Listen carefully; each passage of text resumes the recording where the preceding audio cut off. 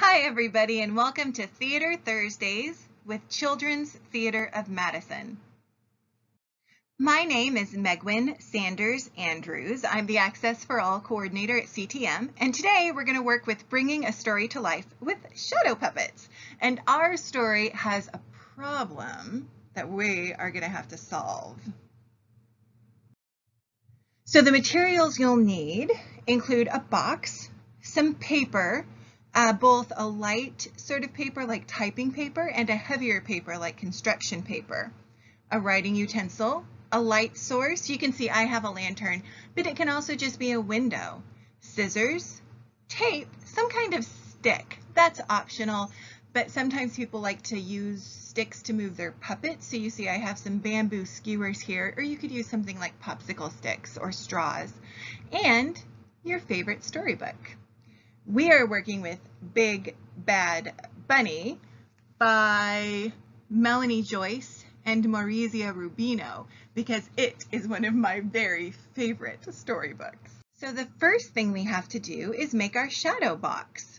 The first step is to cut a rectangle in the side of your box. This will be your stage area. Step two is to remove the opposite side of the box because this is where you'll use your puppets. Step three is to cover your stage area rectangle with a light paper, like typing paper. You can also make some scenery if you want. Uh, my story is set in a cherry blossom forest, so I made some trees to go along the edges of my stage space. Now you can make your shadow puppets.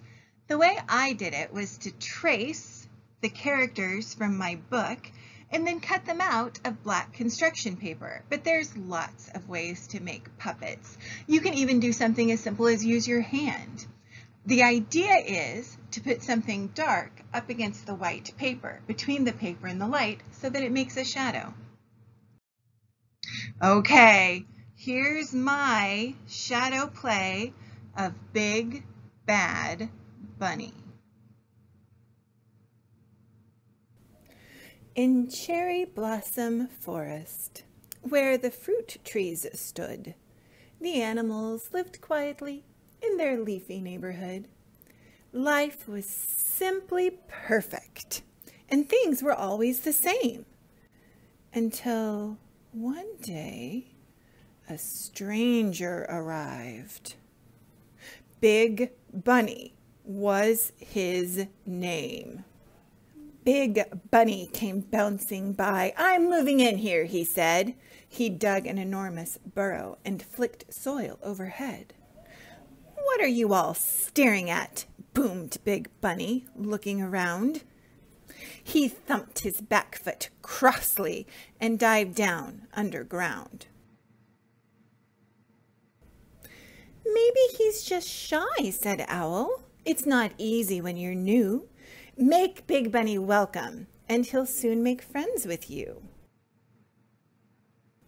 So the field mice invited him to come for cake at four. They heard him bounding down the path and thump on their front door.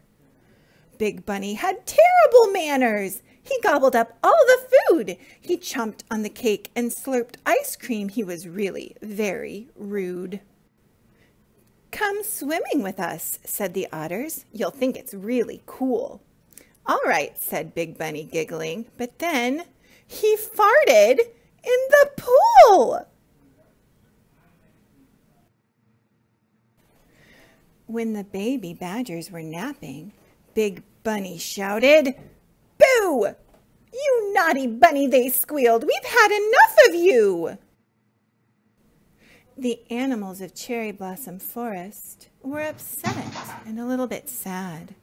We've tried our best, they said to Owl, but that big bunny is just so bad. Have you ever been in a situation like that? When someone was just rude or mean? What did you do? What do you think the animals should do? It's your turn. Finish the story. Think about how you think it should end. You could explore using a picture story or writing it out, and then you can create your own shadow play. And if you just really have to know how the story ends in the book, there's a read aloud at this link.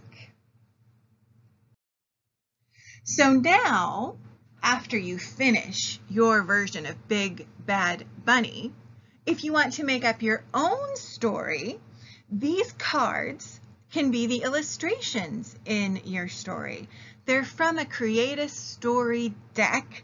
And if these were the illustrations in your story, what would your story be about? Figure out your story, and then you can make it into a play. We would love to see your stories and your story endings. You can send them to us at education at ctmtheater.org. Thank you.